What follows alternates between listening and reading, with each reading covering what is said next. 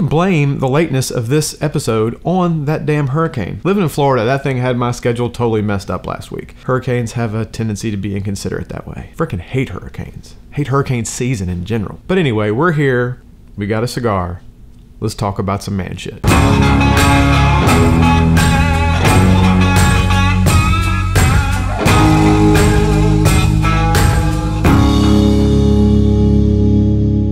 Today we are back talking about cigars. And today's subject is probably as polarizing as putting water in whiskey, putting ice in whiskey, or hell, even what's better, scotch or bourbon. Any of those type subjects that people have a strong opinion on what they prefer, probably to stir up some uproar in the comments. We're to be talking about the different ways to cut a cigar.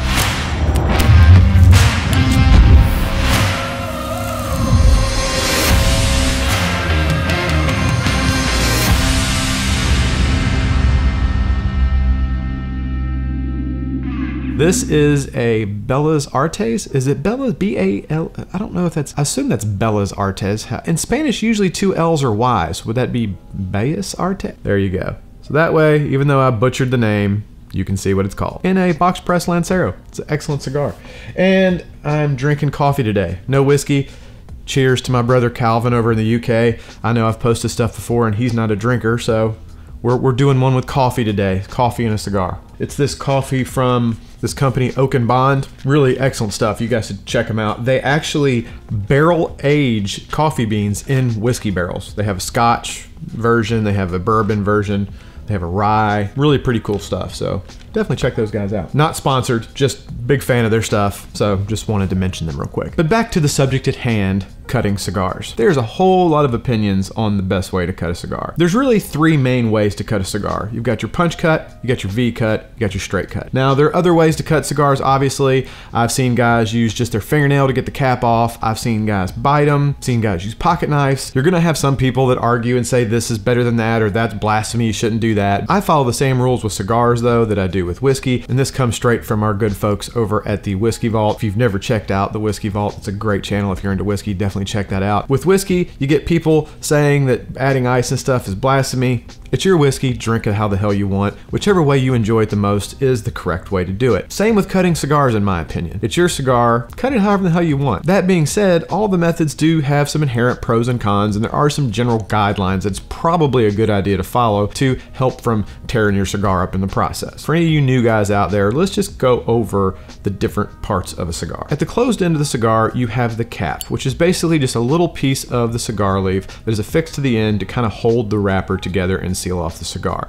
Some cigars are single caps, you have double caps, and you have triple caps. That end of the cigar is also referred to as the head, and at that end you also have the shoulder of the cigar. It's going to come in important later when we talk about how to cut. The middle of the cigar is called the body, and then the open end of the cigar that you light is called the foot. The basic premise behind cutting a cigar is just to remove a little bit of that cap as to allow air to flow through the cigar. If you don't cut some of it off, you're not going to get any air through it. I know I've done it myself. I've forgotten to cut cigars before. I know maybe some of you have done the same. Put it in your mouth, you go to light it, and nothing. Try to only remove just as little of the cap as you can to achieve the airflow that you desire. A lot of guys who haven't cut cigars before or new into the cigar hobby have the tendency just to go in and lob off the whole end of the cigar.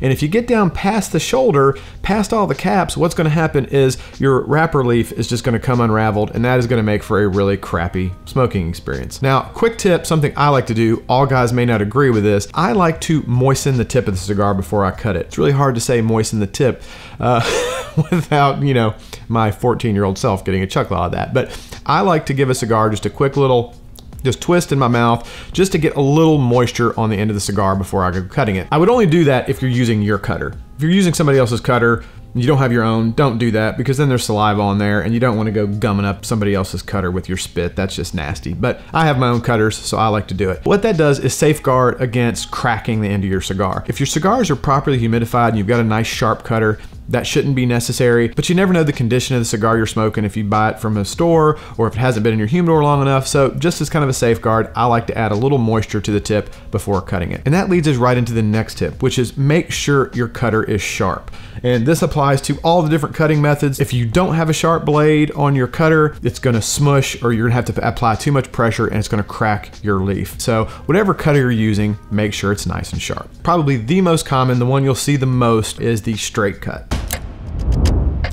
Straight cuts are generally done with these guillotine style cutters. You can also be done with scissors and some other ways, but generally speaking, most of them you're gonna see are these guillotine style. One of the great things about the straight cut is you can cut basically any cigar with it. You can cut small cigars, you can cut fat cigars, you can do box press cigars, you can do figurado shaped or torpedo type. Basically any cigar, you can slap a straight cut on it and you're good to go. To perform a straight cut, pretty cut and dry pun intended. You're going to want to take your cigar, you're going to place it through the cutter, line your cigar up, make sure it's 90 degrees from the cutting surface so you're getting a good straight cut. Watch where the blades are at to make sure you're only right there below that cap, still up on the shoulder so you're not overcutting, and then you're just going to snip just removing the very top cap of the cigar to allow air to flow through it. Now, if you're straight cutting a figurado, same basic principle. It's going to go a little different though. If you're using something like this Cuban Crafters, you're just going to open it up, got a little hole for your tip to go through and you're just going to snip off just a little bit of the end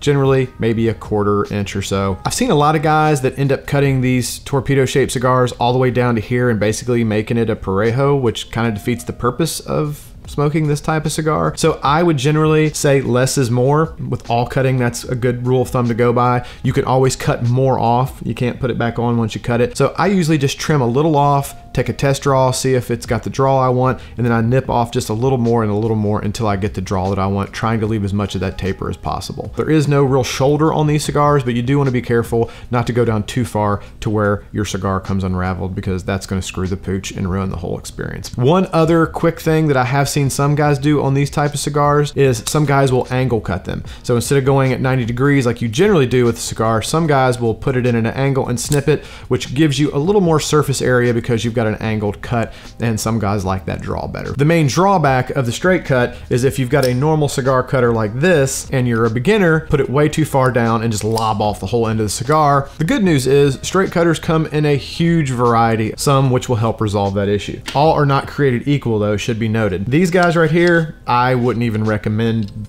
using these. These are your single blade, cheap plastic, cheap steel, just shitty. These are gonna more likely just mangle your cigar more than cut them, so I probably wouldn't recommend using that. Now this style, these double bladed plastic ones, while definitely not cream of the crop, generally do a fairly decent job. As long as the blades are relatively sharp, because it's a double blade style, it generally can do a pretty decent job. And they're super light and cheap, so they're nice just to throw in your pocket or throw in your car to always have one on hand if you lose it, who really gives a crap. One of my favorite style straight cutters is this guy right here from Cuban Crafters. It's called the Perfect Cutter. And one of the reasons I like this is it really takes out the guesswork for guys that are fairly new to cigar smoking or even people that are advanced and just don't want to think about it too much. Because it's got this backstop in here which prevents you from overcutting your cigar. So you just put your cigar in there flat until it hits that backstop, you cut and it's going to automatically cut off the perfect amount. They're also like less than 20 bucks. So really great cutters I've cut a ton of cigars with this thing and it's still nice and sharp. I would be remiss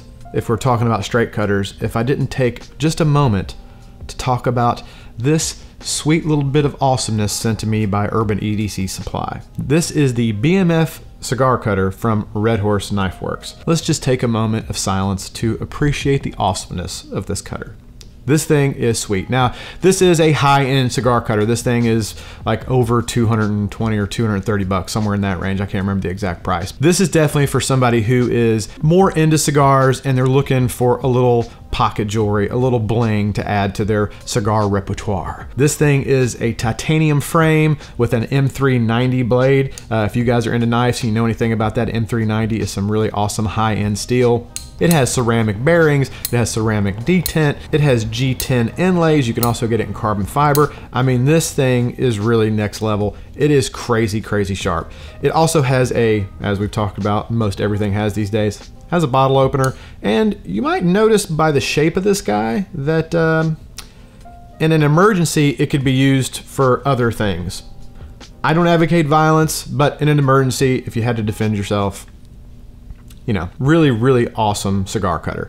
If you're big into cigars, really, really cool. Tons of different options out there for straight cutters. Straight cut is a really, really good option, and a ton of guys use it. Next up, we have one that might be a little controversial. I feel like guys either love this or hate this, and that is the V cut. This guy here happens to be a V cutter from Colibri, and in my opinion, this is the only V cutter worth having. Don't get me wrong, some other companies out there have some nice ones. There's some pretty good ones out there from Xikar, but I've tried a bunch of them and the V cut from Colibri is the only one that I like. V cutting your cigar is really simple. It's got a cradle kind of backstop little area your cigar goes in. You're gonna place your cigar in said cradle and push down to cut. It's one of the things that's great about the V-cut. It's kind of hard to screw up. If you push it to the backstop, push down, you're gonna V-cut it correctly. It's my preferred method for cutting box press cigars. I really like how clean of a cut it is. Uh, it leaves a little more of the end of your cigar intact. I feel like it usually gets less tobacco in your mouth. It also holds more of the end of the cigar together, so I find you, generally speaking, have less unraveling problems. And the reason I really like for a box press is I found that some box press cigars, because they're square, a round cut doesn't always sometimes you can kind of crack it puts weird pressure on the sharp edges where a v cut you can just put in there and cut right through the middle some guys are going to tell you they taste differences in these different types of cuts that you're going to get a different flavor from a straight cut than a v cut than a punch cut because it funnels and kind of directs the smoke differently. I'm not going to say it's bullshit. Some guys have more advanced palates than me. I don't notice any flavor difference between the, the three different types of cuts. I just use different cuts based on the size, the shape of the cigar, stuff like that for utilitarian purposes is what I think cuts the cigar best and gives me the best airflow. The one drawback to a V cut is you have to be kind of careful if you have a shallow cap on a V cut. Sometimes this deep V can cut down too deep and then you will run into issues of your cap coming off and then your cigar coming unraveled. So generally speaking, I don't use this on smaller gauge cigars or cigars with a very shallow cap. That's just something to look out for. Now, last but certainly not least, you have your, oh shit, on this end, you have your punch cut you have a punch that is basically just gonna take a little hole out of the end of your cigar. A lot of guys love this. I used to punch cut cigars quite a bit. I don't really punch cut stuff anymore, but it is a relatively easy and clean way to open up a cigar, and it's great for beginners because it's kind of hard to screw up a punch cut. To do a punch cut, what you're gonna do, you're gonna just line up your punch in the center of the head of your cigar, and you're gonna slowly twist the cigar in the punch and apply gentle pressure until you penetrate, penetrate, I said, there goes that 14 year old mentality again. I swear. I'll grow up one day. But anyway, you're going to just slowly rotate until you penetrate through the wrapper and then pull a little plug out. And what you're gonna end up with is a really nice clean hole in the end of your cigar. One of the great things about a punch cut is that it is probably the cleanest, least amount of tobacco in your mouth way to cut a cigar.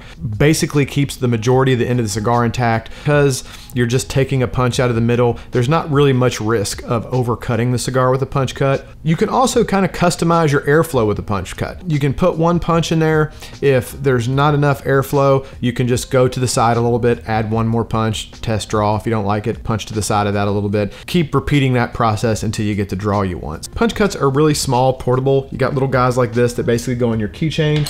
The other great thing is they also include punch cuts on the bottom of a lot of lighters. I don't have one at the moment that has a punch on the bottom of it, but if you're traveling or you're out and about, you don't have to pack an extra cutter. Things like this cigar tool have a punch cut integrated. This one is a Modus 2 cigar tool. Pretty neat little cigar tool, really. It has several different tools in it.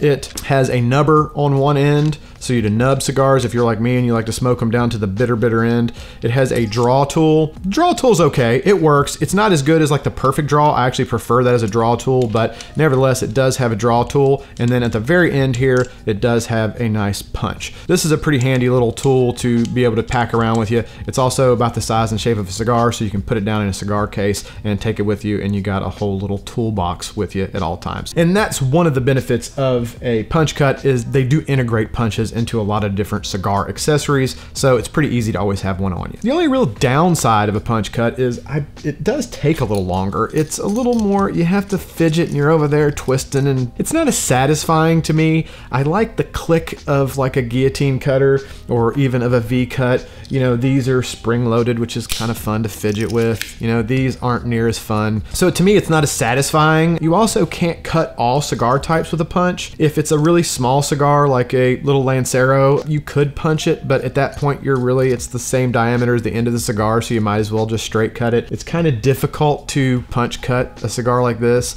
I have seen guys come in at an angle and do weird shit like that, but I mean, just snip the tip off. I don't really get it. Anybody who tells you one is for sure better than the other is generally blowing smoke. Man, I'm really full of the puns today, but it's really boils down to personal preference.